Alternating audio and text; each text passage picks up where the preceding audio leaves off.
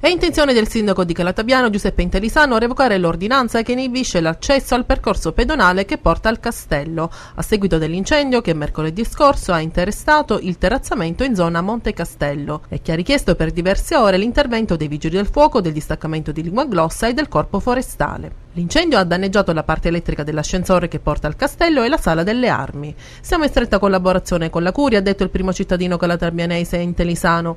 e sto bagliando l'idea di revocare l'ordinanza che vieta l'accesso al castello per permettere la prosecuzione delle manifestazioni estive sul nostro territorio e non creare disagio agli operatori e garantire la piena fruizione del castello da parte dei turisti.